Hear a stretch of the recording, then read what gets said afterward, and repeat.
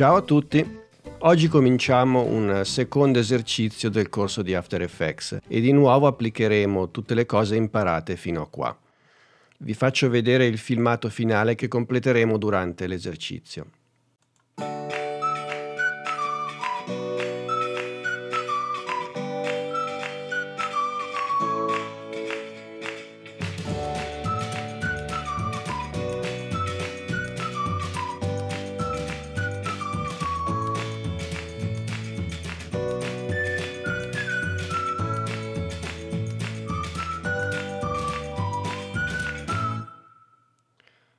Ecco fatto. Questo è ciò che realizzeremo da qui alla fine dell'esercizio. Naturalmente è tanta roba e non la faremo in un'unica lezione, ma probabilmente la divideremo in 3-4 lezioni. Comincio a dirvi per correttezza che questo filmato non l'ho uh, ideato io. Mi sono liberamente ispirato a un progetto di After Effects che è in vendita sul sito di VideoHive. Vi faccio vedere rapidamente dove lo potete trovare nel caso vi interessasse acquistarlo eccolo qua, Beautiful Day, è molto più lungo e complesso del filmato che vi ho appena fatto vedere e poi anche i disegni non sono proprio quelli, sono, sono altri. Comunque torniamo ad After Effects, riguardiamo un attimo lentamente il filmato, com'è strutturato. È strutturato per scene o per quadri animati. Vi faccio vedere il filmato lentamente. Questo è il primo quadro, la prima scena, diciamo così, dove ci sono un po' di disegni con le loro animazioni, c'è un aeroplano che passa con una scritta, poi questa scena termina e ne comincia una seconda dove ci sono altri disegni e altre animazioni. Poi anche questa scena termina e ne comincia una terza, l'ultima con altri disegni ancora. Sono tre scene separate da delle transizioni che adesso vi faccio rivedere. Eccola qua. Questo passaggio dalla scena 1 alla scena 2 avviene con una classica tendina a salire che è nascosta da queste tre nuvole. E allo stesso modo si passa dalla scena 2 alla scena 3 con un elemento grafico che nasconde la tendina cioè in questo caso è questo disegno di un pesce. Ok, diciamo che le lezioni le dividiamo così. Eh, nella prima lezione costruiremo questa prima scena qua. Poi nella seconda parte dell'esercizio faremo la seconda scena, tutta questa. Nella terza parte faremo la terza scena, questa, e nella quarta parte assembleremo tutte quante le scene creando queste transizioni che le separano. Ok? Quindi incominciamo con la prima scena, questa qua. Allora, innanzitutto in questo progetto non ho ancora importato gli elementi che mi servono, quindi la prima cosa che faremo è importarli. Se anche voi volete fare esercizio insieme a me, dovete scaricare dal link che trovate sotto il video il materiale che poi useremo nel progetto. Quindi una volta scaricato, mi raccomando, mettetelo vicino al progetto che avete creato e poi insieme con me importatevi i disegni. Quindi per importare qualcosa in After Effects sappiamo benissimo che si fa doppio clic qui nella finestra del progetto. Allora in questo caso dovreste avere una cartella che contiene tutti questi disegni qui. Vi dico subito che alcuni di questi disegni sono strutturati a livelli. Quindi durante l'importazione devo fare in modo che questi livelli rimangano separati perché poi dovrò fare delle animazioni particolari sui, sui vari livelli. Quindi incominciamo con importare il gruppo di questi disegni che sono strutturati a più livelli. Vi dico subito che sono l'aereo, poi CTRL, clicco sulla barca per selezionarli contemporaneamente tutti. Poi la farfalla, il girasole, la mongolfiera, la nuvola, il sole e il trattore. Ecco, tutti questi elementi selezionati contengono più di un livello, per cui durante l'importazione qua sotto devo specificare composition retain layer sizes. Quindi una volta fatto questo, clicco il tasto open o import e mi trovo, ecco qua, tutti quei disegni lì che appaiono qui sotto forma di composizione. Poi non mi fermo qui, doppio clic di nuovo, adesso importo gli altri elementi che invece sono dei disegni ad un unico livello. Quindi questi sono l'auto arancione, la casa, il faro, il fiore, il pesce. Ecco, questi qui so che sono ad un unico livello, quindi non specifico qua composition, retain, layer size, lascio footage e importo. Benissimo. Ora prendo tutti questi elementi nella finestra di progetto e li inserisco all'interno di una cartella, quindi li trascino tutti quanti insieme sopra l'icona della cartella qui e rinomino questa cartella disegni. Così abbiamo tutto il materiale organizzato in un'unica cartella. Benissimo. Adesso la prima cosa che faccio è creare una composizione per la scena numero 1.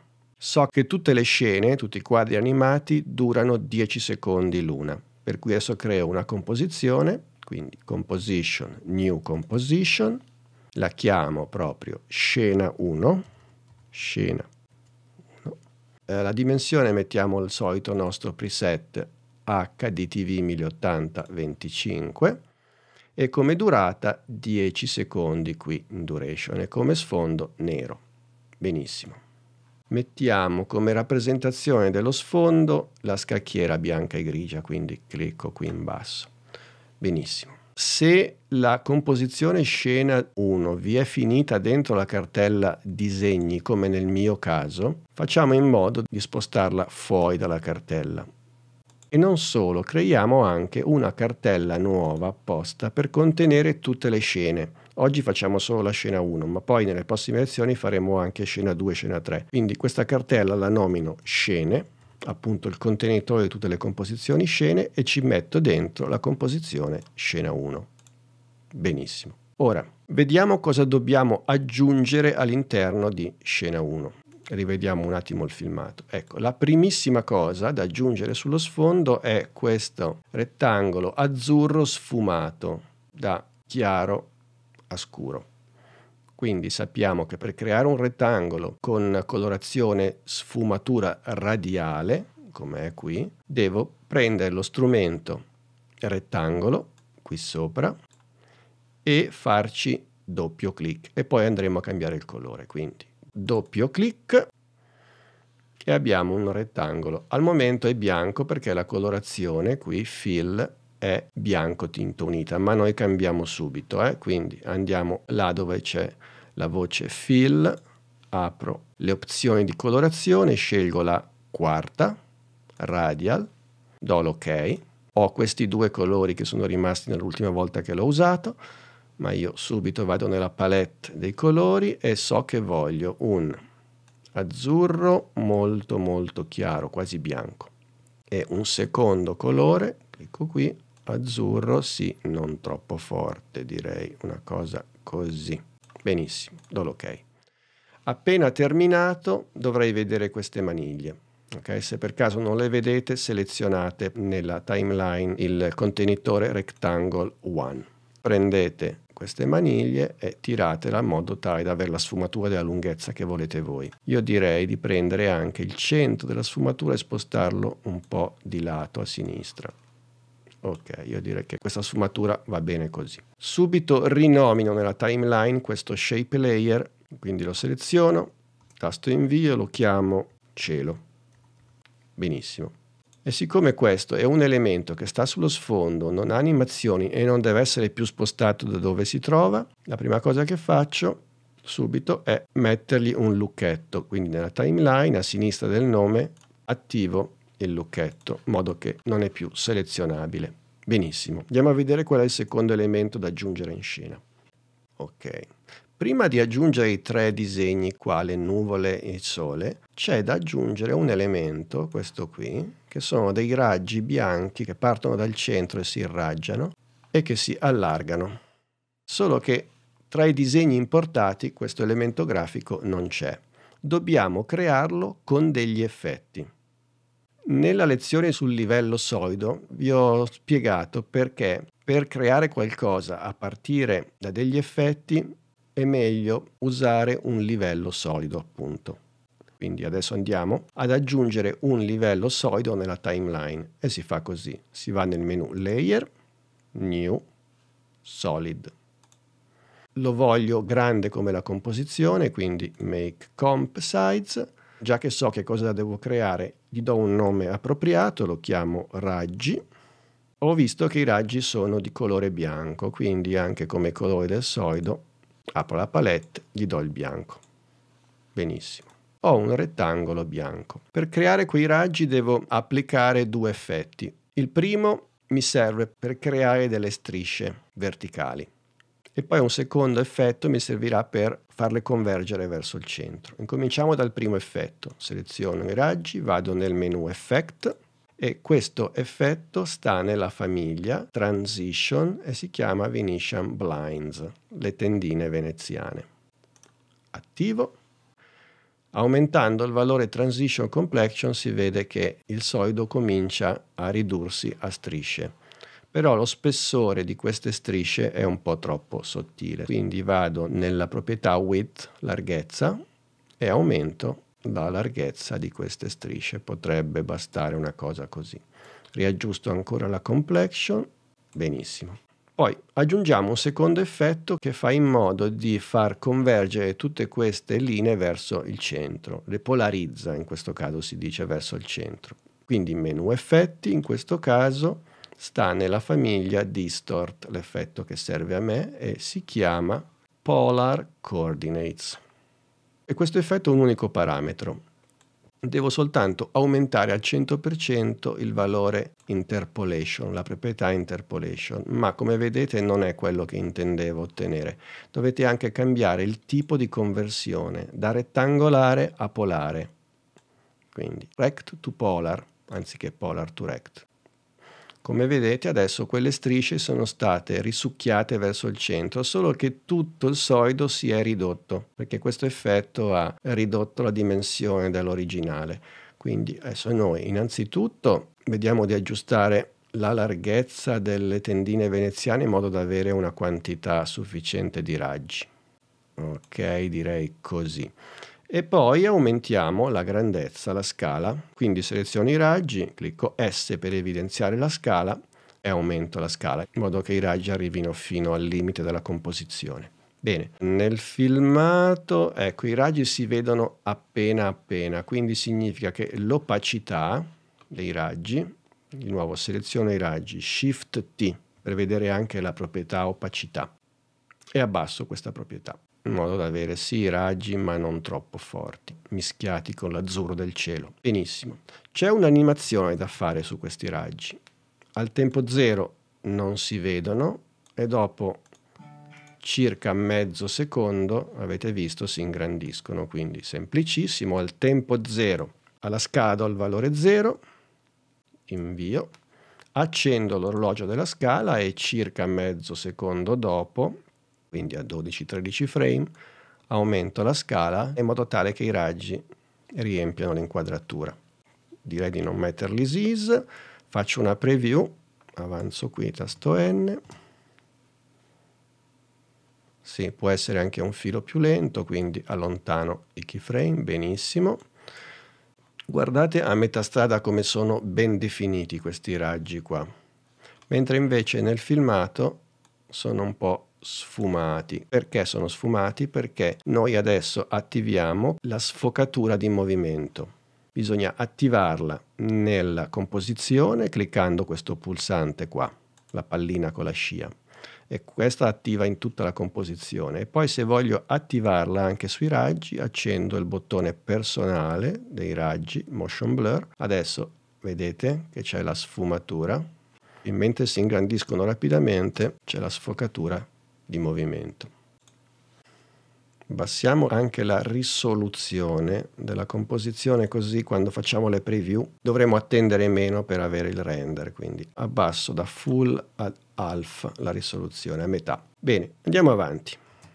Il prossimo elemento che entra in scena è questa nuvola, poi il sole e poi un'altra nuvola. Allora, la nuvola è uno di quegli elementi, torniamo nella finestra progetto, vado a cercarla nei disegni, non è un disegno semplice a un livello unico, ma è una composizione che contiene più livelli. Eccola qua, nuvola. Doppio clic, la apro perché è una composizione, per vedere com'è fatta.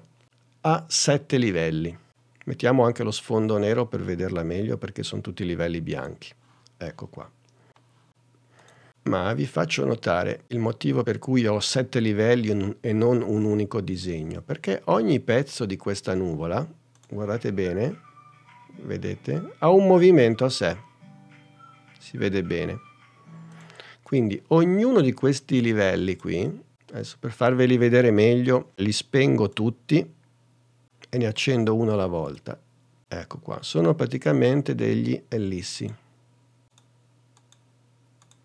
Tengo acceso solo il primo adesso. Ognuno di questi elementi qua voglio che si ingrandisca e si rimpicciolisca così, a caso, per tutta la durata della composizione. Quindi devo lavorare sulla scala S. Voglio che ogni secondo circa eh, questo ellisse cambi forma, a volte diventi un po' più grande, a volte un po' più piccolo, ma a caso. E voglio farlo rapidamente senza mettere io a mano tutti i 10 keyframe. Per fare questo ci facciamo aiutare da questa palette qua che io ho già aperta, si chiama effetto vibrazione. Ho fatto un tutorial a parte rispetto al corso dedicato a questa palette e vi consiglio di guardare il tutorial e di scaricare questa palette e installarla nel vostro After Effects perché questa ci velocizza di molto il lavoro quando dobbiamo fare delle animazioni un po' casuali e ripetitive come in questo caso. Quindi dopo che l'avete installata, apritela dal menu Window, la troverete qua, effetto vibrazione, e poi una volta aperta, adesso vediamo come farla funzionare nel nostro caso. Allora, la scala ha due dimensioni, la scala X e la scala Y, ha due numeri che la controllano, quindi numero dimensioni lascio 2. Voglio che la scala aumenti, diminuisca uniformemente la larghezza e l'altezza, quindi devo anche accendere questo pulsante qua uniforma. Poi voglio che ogni secondo cambi grandezza, quindi vibrazioni al secondo 1 va benissimo, quindi il valore 1 che è già impostato va bene così. L'ampiezza dice 50. Significa che se lasciassi quel valore lì, l'ellisse si ingrandirebbe o si rimpicciolerebbe del 50% della sua grandezza, perché la scala si misura in percentuali, che mi sembra un po' troppo. Io abbasserei questo valore al 10%. Bene, quindi i valori da impostare sono pronti. Adesso devo applicarli alla proprietà scala, quindi devo selezionare nella timeline la proprietà scala e cliccare sul bottone applica. I numeri da azzurri sono diventati rossi, il che significa che è stata scritta un'espressione sulla scala e adesso faccio una preview di qualche secondo per vedere se la velocità dell'animazione va bene e appena appena accennata, vedete che l'ellisse si ingrandisce, si rimpicciolisce a caso ogni secondo, a volte più grande, a volte più piccolo, ma non supererà mai il 10% della sua grandezza. Bene, quindi una volta che ho trovato i valori giusti per l'effetto vibrazione di 1, questi valori qui vanno bene anche per tutti gli altri ellissi, quindi non devo fare altro che riaccenderli tutti e seleziono tutti Clicco il tasto S per aprire la proprietà scala, quindi selezionate di nuovo tutte le proprietà scala, di nuovo cliccate su Applica. Adesso tutti i numeri sono rossi, ognuno di questi ellissi avrà un'animazione random, casuale, diversa dagli altri. Vediamo. Benissimo. Ed ecco qua che rapidissimamente abbiamo creato un'animazione molto complessa. Sette livelli che si muovono ognuno per i fatti suoi senza bisogno di keyframe. Bene. Adesso che questi ellissi si ingrandiscono e si rimpiccioliscono, a volte, lo si vede per esempio qua, escono dalla composizione perché la composizione aveva una grandezza precisa rispetto al disegno originale che era statico, ma adesso che si muove non lo contiene più bene. Quindi la prima cosa da fare è modificare la dimensione di questa composizione. E come si fa? Si va nel menu Composition, Composition Settings. Vedete qui? Questa era la larghezza e l'altezza di quella composizione, 587-353. Non facciamo altro che aumentarla anche a casaccio, quindi clicco, trascino e vedete che automaticamente è aumentata. Abbondo un po' e abbondo un po' anche in altezza. Adesso ho spazio a sufficienza. Diamo un'occhiata anche alla durata 10 secondi, perché questa durata non l'avevamo stabilita noi, in automatico era stata creata durante l'importazione. Eh, in questo caso particolare va benissimo perché la durata di questa nuvola deve essere uguale alla durata della composizione che la contiene, cioè la scena 1, che è 10 secondi, quindi va benissimo. I settings vanno bene così, do l'ok. Adesso non mi fermo qui perché andiamo a vedere un attimo le nuvole che ci servono nel nostro progetto. Sono tutte nuvole azzurre, sia in questa scena, sia nella scena successiva e sia nell'ultima scena e non solo sono azzurre, e tutte quante hanno anche un'ombra. Quindi sarebbe bene fare in modo che già all'interno di questa composizione la nuvola fosse già colorata correttamente e avesse già l'ombra. Quindi ho bisogno proprio di un effetto che colora le cose in questo modo, con una sfumatura. Ma devo fare in modo che questo effetto venga applicato contemporaneamente a tutti quanti i livelli. Noi sappiamo da una lezione del corso che esistono i livelli di aggiustamento che servono appunto a quello, a applicarci effetti quali poi vengono trasferiti ai tutti i livelli sottostanti in un colpo solo. Quindi aggiungiamo un livello d'aggiustamento, vado nel menu Layer, New, Adjustment, Layer a me il livello di aggiustamento si è infilato in mezzo ai vari livelli, quindi lo prendo e lo trascino, lo sposto su in cima e a questo livello di aggiustamento metto l'effetto che colorerà tutti quanti i livelli sottostanti. Quindi seleziono Adjustment Layer, vado nel menu Effetti, in questo caso l'effetto che mi serve sta nella famiglia Generate e si chiama Gradient Ramp. Il gradient ramp è appunto la colorazione sfumata che al momento è impostata, attenzione, linear ramp, cioè la sfumatura lineare, ma io voglio la sfumatura radiale dal centro verso l'esterno, quindi innanzitutto do come forma della sfumatura anziché linear radial qui, benissimo. Poi voglio che il centro, lo start di questa sfumatura sia qui al centro della nuvola. E come faccio? Vengo qui nei controlli dell'effetto dove c'è scritto Start of Ramp, clicco sul bottone, questo mirino qua, prendo quel bottone e vengo qui dove c'è il centro della nuvola e clicco e assegno il centro della sfumatura qua. Al momento il colore è nero. Poi prendo il colore di periferia Land of Ramp, clicco su quel mirino e lo metto più o meno qua. Bene, ma io voglio che il centro sia appunto bianco, quindi Start Color, clicco qui, bianco. E End Color, apro la palette e do l'azzurro. Direi che così va bene. Ecco la nuvola azzurra. Adesso posso far tornare lo sfondo a scacchiera e non solo, voglio anche che ci sia un'ombra.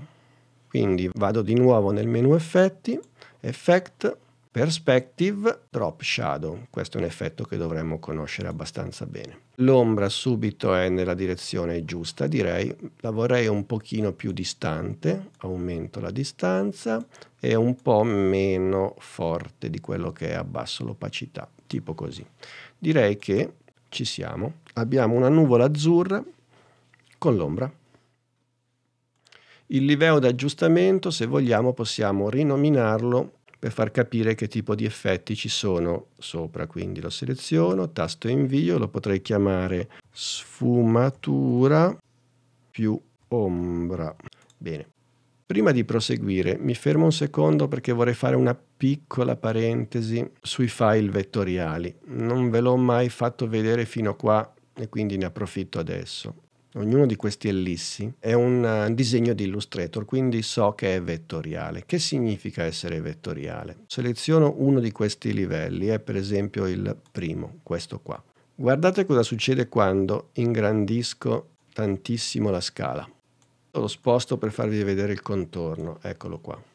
Vedete il contorno che non è più così ben definito come lo era prima. Mentre invece siccome il disegno è vettoriale, non dovrebbe comportarsi così, dovrei anche dopo che l'ho ingrandito tanto, tantissimo, dovrei sempre vedere il contorno ben definito. Ok, per fare in modo che questa caratteristica vettoriale rimanga anche dopo che i livelli sono stati importati in After Effects, devo accendere questo bottone qua. quello col cerchio con i puntini intorno, che avevamo visto nella lezione sul livello solido. Adesso lo accendo per il layer numero 3. Avete visto che appena l'ho acceso, il contorno di questo ellisse è tornato perfetto, ben definito e potrei continuare a ingrandirlo all'infinito e non perderebbe mai di definizione. Per cui se vogliamo mantenere questa caratteristica per cui i livelli possono essere ingranditi all'infinito senza che perdano definizione, dobbiamo accendere questi pulsanti. Quindi per questi livelli direi di farlo e adesso però devo rimettere a posto questo livello, quindi lo riduco e lo vado a mettere al suo posto. Più o meno dovrebbe essere così. Perfetto. E adesso torno nella timeline a guardare la scena 1 quindi riattivo la scena 1 e prendo la nuvola e la aggiungo nella composizione scena 1. La riduco un po' a mano, la metto qui sulla sinistra, ecco mi serve più o meno qua. Che tipo di animazione ha questa nuvola? Andiamo a vedere. Ha un'animazione,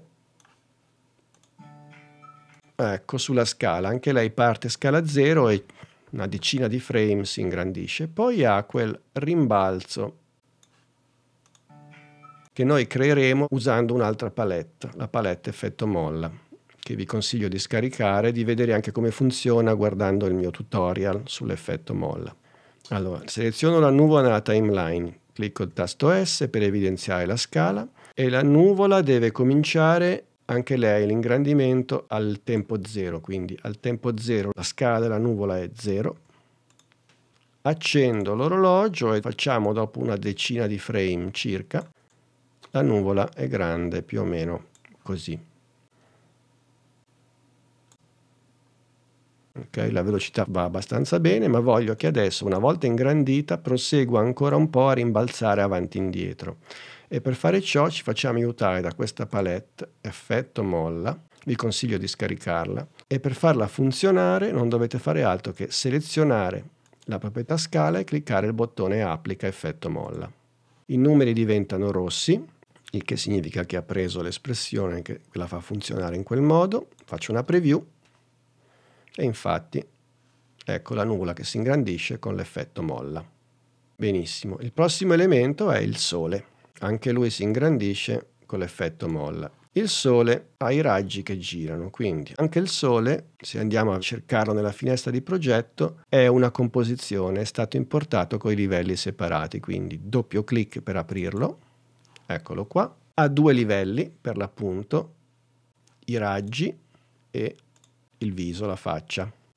In questo caso i livelli sono due perché io devo fare ruotare lentamente i raggi per tutta quanta la durata della composizione. Bene, prima di proseguire subito accendiamo i due pulsanti che mantengono la caratteristica vettoriale dei disegni, eccoli qua. Allora, sui raggi clicco il tasto R perché devo lavorare sulla rotation, Qui, siccome l'animazione sulla rotazione è costante, dall'inizio fino alla fine, devo mettere due keyframe, uno all'inizio e uno alla fine. Quindi accendo l'orologio di rotation al tempo 0 e lascio i gradi a 0. Prendo il cursore lo sposto in fondo e qui faccio in modo che dopo 10 secondi, per esempio, il Sole abbia fatto un giro completo. Quindi per fare un giro completo basta che metto il primo numero a 1 che significa un giro completo e 0 gradi. Facciamo una preview, vedete? In 10 secondi fa un giro completo e come velocità di rotazione mi sembra buona. Perfetto. Guardiamo attentamente se la composizione contiene bene i raggi del Sole. Direi di no. In questo caso qui una punta dei raggi esce dall'inquadratura, quindi per sincerarci che rimanga dentro aumentiamo la dimensione della composizione, quindi composition, composition settings, aumento l'altezza. Perfetto, adesso sicuramente ci sta dentro. Durata 10 secondi, benissimo. Anche qui ho bisogno di mettere un'ombra al sole perché in tutte le scene il sole ha sempre l'ombra, sia qui, sia qui, sia qui. Quindi l'ombra a tutti e due i livelli, sia i raggi sia la faccia. Quindi anche qui layer, new adjustment, in modo tale che questo livello di aggiustamento avrà l'ombra e l'ombra verrà applicata a tutti e due i livelli sottostanti. Rinomino subito questo livello di aggiustamento ombra e gli applico l'effetto ombra, quindi effect, perspective, drop shadow. Aggiusto anche qui un po' la distanza e anche l'opacità un po' bassa. Benissimo, direi che ci siamo. Perfetto. Torniamo alla scena 1, quindi riattivo la scena 1, prendo dalla finestra progetto il sole e lo aggiungo qua. Ok, allora anche lui ha un ingrandimento in circa 10 frame e parte da scala 0.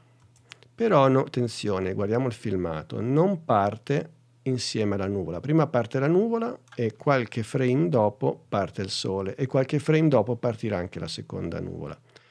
Per cui incominciamo a prendere il cursore del tempo nella timeline e a metterlo non al tempo 0 ma facciamo 4-5 frame, quindi un po' più tardi rispetto alla partenza della nuvola. In questo momento seleziono il sole, tasto S per evidenziare la scala e metto la scala a 0. Accendo l'orologio e anche lui dopo circa una decina di frame, quindi più o meno qua, la distanza che c'è tra il keyframe della nuvola e il keyframe del sole è più o meno uguale e ingrandisco il sole più o meno così. Mm? Bene, anche al sole metto l'effetto molla rapidamente, quindi seleziono la proprietà scale, vado nella palette effetto molla e clicco il bottone applica effetto molla. I numeri sono rossi, faccio partire la preview, infatti nuvola, sole, nuvola e poi sole. Bene, adesso ho bisogno di una seconda nuvola qua dietro il sole sulla destra che abbia lo stesso ingrandimento della prima nuvola. Quindi visto che la prima nuvola ha già l'ingrandimento, se io la duplico e la seleziono Edit Duplicate, ecco qua, ho una copia della prima nuvola con già l'animazione sulla scala non devo fare altro che spostarla nella nuova posizione, cioè qui in alto sulla destra. Adesso però devo vedere quando comincia l'animazione. Non comincia insieme alla prima nuvola, ma dopo che è partito il sole. Quindi che faccio? Prendo la seconda nuvola nella timeline e la sposto più avanti, in modo tale che l'inizio se clicco il tasto U per vedere i keyframe sulla scala, ecco qua, vedete che comincia quando l'animazione del sole è circa a metà. Quindi prima la nuvola 1, poi il sole, poi la nuvola 2. Vediamo se è vero. Faccio una preview.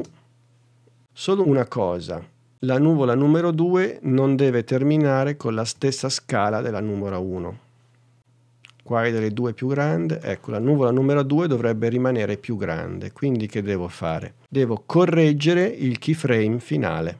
Quindi clicco sul tasto destro sul secondo keyframe e Go to keyframe time, in modo che il cursore vada proprio sopra quel keyframe. E adesso correggo la grandezza finale, la faccio un po' più grande, in modo che non sia uguale alla prima. E poi la sposto anche un po' più in basso, così direi. Rivediamo il tutto. Perfetto, quindi i primi tre elementi sono stati creati e sono a posto. Ora, una cosa, prima di proseguire, il Sole dal tempo zero fino a quando non comincia l'animazione, cioè fino qui, non si vede, non esiste, per cui posso trimmare tutti questi frame, cioè elimino i frame iniziali fino al primo keyframe per rendere più evidente anche a occhio quando il sole comincia la propria animazione.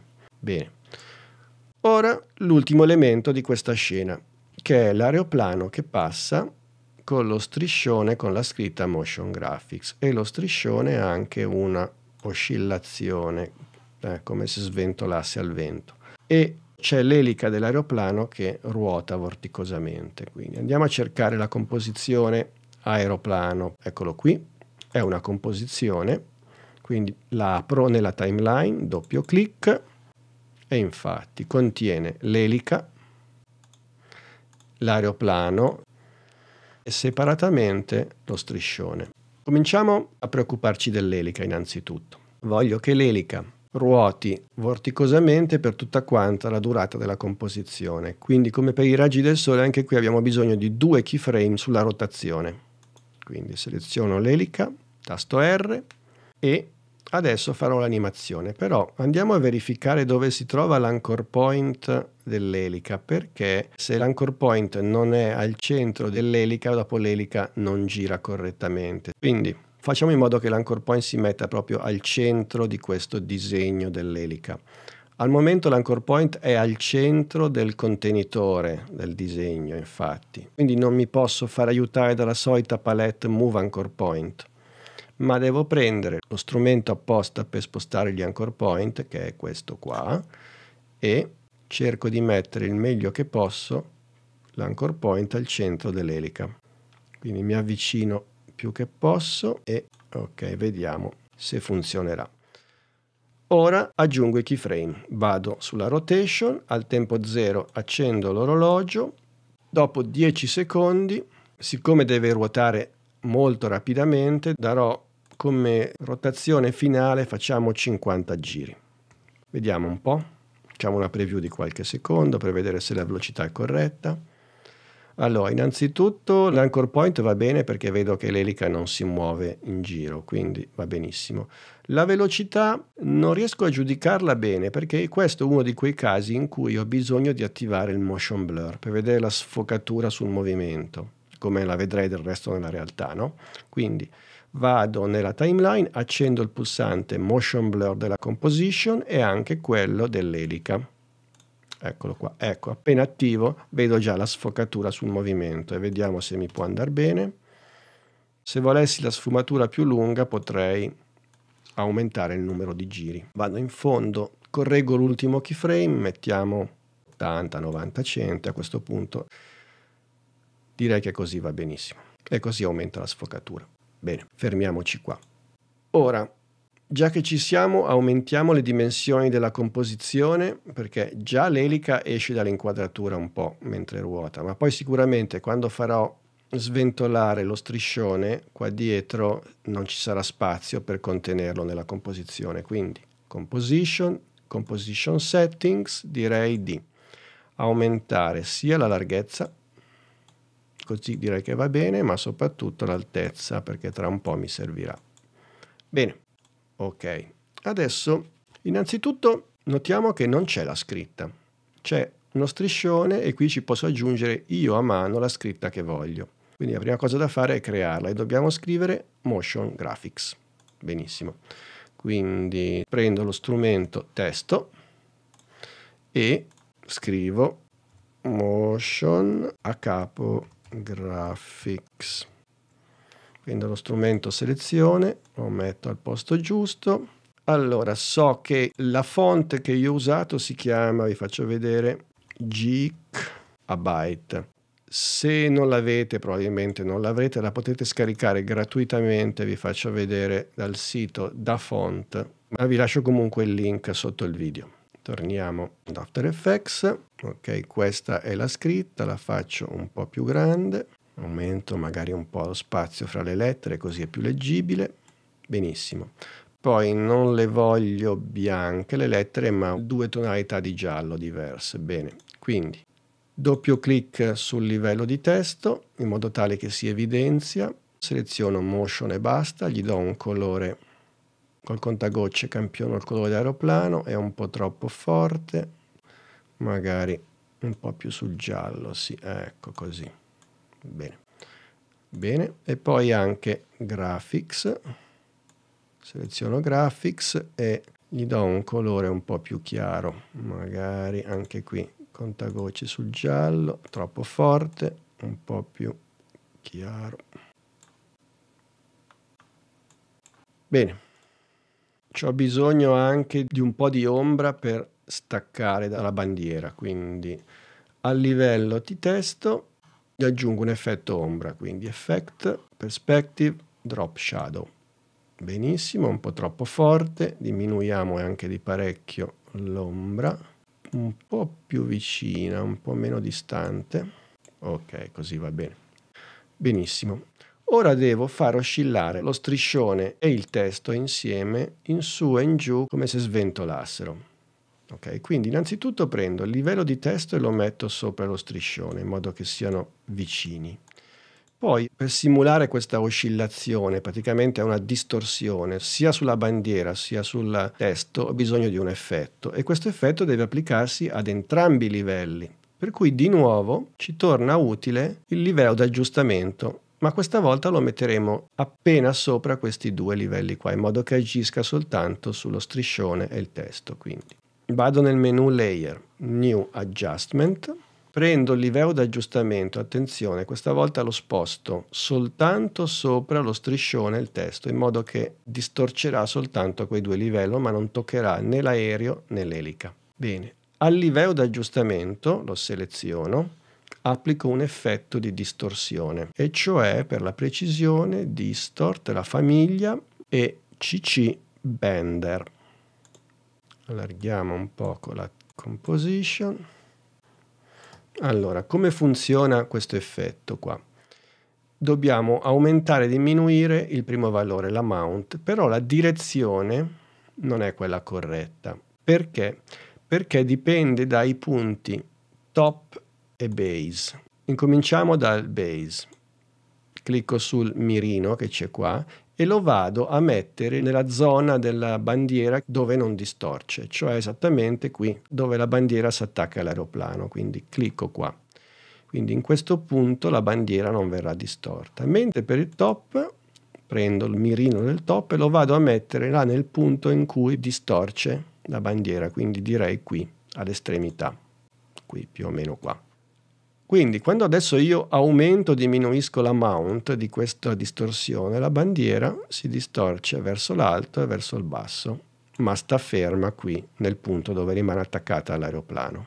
Bene, io ho bisogno che si distorca un po' in su e un po' in giù, abbastanza lentamente direi. Quindi durante 10 secondi metteremo 3 o 4 keyframe. Incominciamo con la distorsione verso l'alto, così, bene. Adesso devo mettere dei keyframe alla proprietà amount dell'effetto di distorsione. Quindi per aprire l'effetto distorsione nella timeline, il metodo più comodo è tasto destro su uno qualsiasi dei parametri e reveal in timeline in modo che istantaneamente mi si apre nella timeline. Avrei potuto anche aprire Adjustment Layer e cercare la sezione Effects e aprire CC Bender, ma così si fa prima. Bene, al tempo 0 voglio che il valore della distorsione amount sia così com'è, in questo caso meno 15, quindi accendo l'orologio. Poi facciamo un paio di secondi dopo, faccio una distorsione dalla parte opposta. Poi dopo altri due secondi circa la piego verso l'alto e via così, una volta in su, una volta in giù. E poi andiamo alla fine, ne mettiamo un altro in fondo ancora verso l'alto. Magari ridistribuisco un po' i keyframe, ecco fatto, vediamo se la velocità è giusta. Sì, potrebbe andare, solo una cosa, i keyframe li voglio ammorbiditi, in modo che quando cambia direzione rallenta e poi riparte, quindi seleziono tutti i keyframe e per ammorbidirli scorciatoia F9. Ecco fatto. Ok, vediamo se per caso anche l'aeroplano ha l'ombra. Sì, quindi anche qui devo mettere un'ombra a tutti i livelli sottostanti, quindi ho di nuovo bisogno di un altro livello di aggiustamento, quindi Layer, New Adjustment, eccolo qui, e a questo ci applico l'effetto ombra, Effect, Perspective, Drop Shadow, aggiustiamo i soliti valori di distanza, magari anche direzione, e poi abbassiamo l'opacità. Ok, visto che abbiamo due livelli di aggiustamento, questo qui, l'ultimo, lo rinomino ombra. L'altro invece, quello per la distorsione, lo chiamiamo, diamogli il nome dell'effetto così sappiamo esattamente cosa contiene CC Bender, l'altro ombra. Bene, anche l'aeroplano, il livello che contiene l'aeroplano è a posto. Adesso torniamo nella composizione finale, scena 1, e facciamo l'animazione dell'aeroplano che passa. Quindi finestra progetto, Prendo l'aereo, lo metto qui, è un po' piccolo, ingrandiamolo un po'. Vediamo che tipo di animazione ha. Parte fuori, non subito all'inizio, e circa ci impiega quasi tutta quanta la durata della composizione. Quindi lo facciamo partire a circa un secondo e lo facciamo uscire intorno ai 8-9 secondi. Bene, allontano un po', prendo l'aereo, position, proprietà position e a un secondo metto l'aereo fuori a destra, magari anche un po' più in basso. Accendo l'orologio e a circa 8-9 secondi qua prendo l'aereo e lo sposto tutto fuori a sinistra compresa la bandiera. Facciamo una preview per vedere se la velocità è giusta.